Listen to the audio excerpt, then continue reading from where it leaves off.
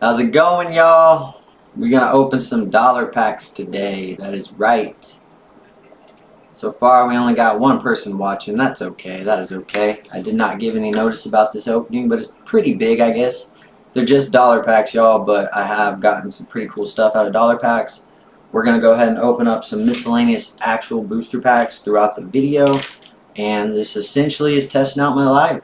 Let's see if it lags out like always. I did do some changes.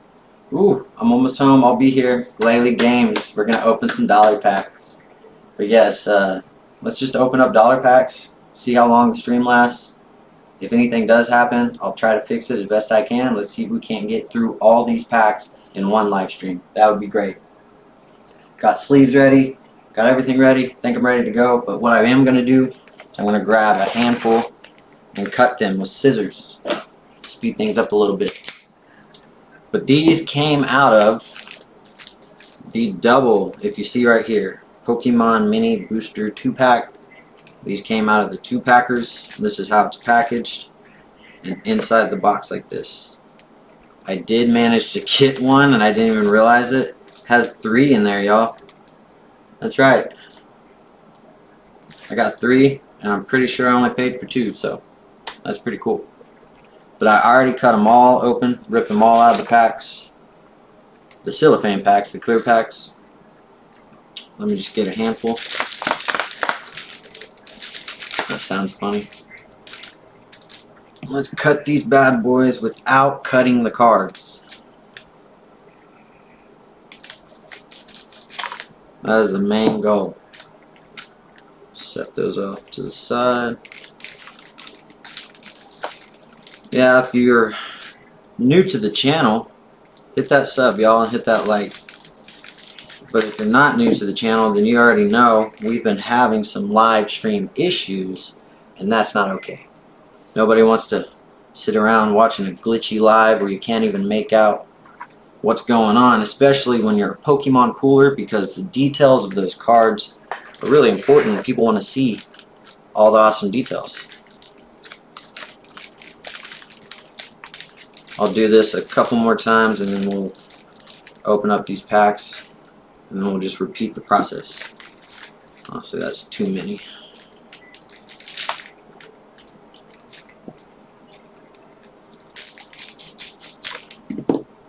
So fresh, so clean. Anybody get anything good from dollar packs? Drop it down in the comments. I the best I probably got from a dollar pack was Cosmic Eclipse and I got a character card. Yep. It was Steelix, I think. I put it on the channel, but it was really, really, really early when the channel first started. So let's start with that, see what happens. Everything's looking great so far. We'll try to do the card trick a couple times, depending on how long it takes.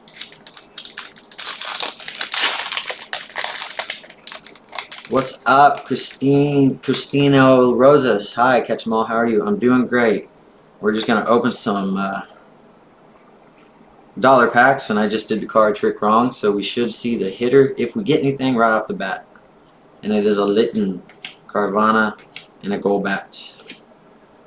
Do not expect much, y'all. The reason I did this, the reason I spent this much money on dollar packs, is because Unbroken Bonds is a set that does not come out on shelves a lot where I'm from. If, if ever it's going to come out on shelves again, I want to get that set done as much as possible.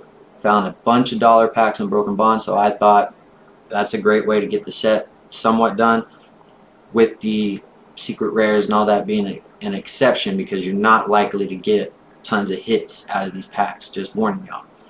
See what happens though. Let's see what we get. Tentacool, Energy, and we got a reverse. So, getting a reverse holographic is saying something. We're going to post up all our reverse holographics, holographic cards, and hopefully if we get any bangers, that's just a bonus. I'm doing great though.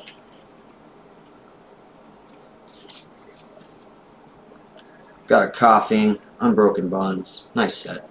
A metal core barrier, And another reverse hollow. And these packs did not come directly from this box, y'all. I brought this box home from uh, Family Dollar.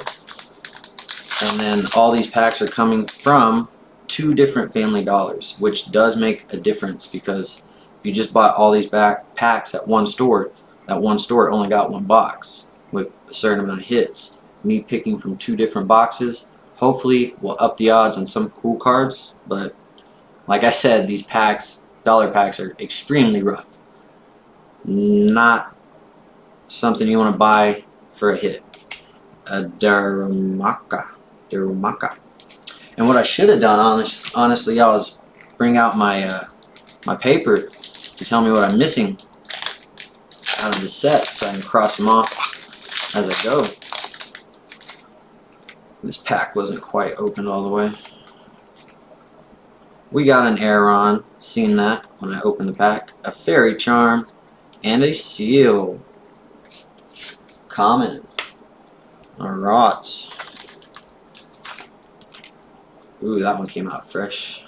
I'll get better as I go. There is no code cards, but I will open up official booster packs throughout the video, so stay tuned. Togepi, a Tentacruel, and a Gengar, and that's a rare. It's not a hollow, but it is a rare. I love Gengar. I'll take any Gengar I can get.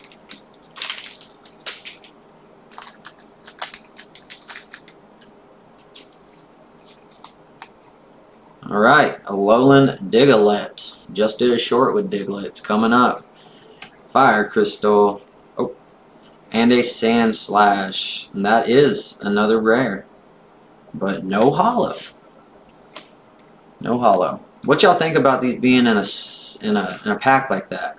I think they do it to keep it from being weighed easier. I don't know. Or they're being sold by resellers. I don't know. We'll know if we get some hits, right? A Grubbin.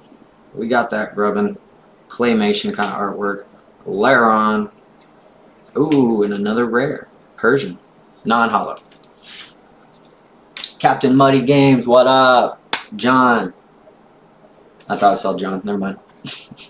Gengar, the best ghost type Pokemon ever. I agree. I completely agree. And it's still holding up to its fight in the games today with the exception of the legendary ghost Pokemon. Alright, I, am like about to guess the energy. Sandile, a Graveler, and a Salandit uncommon.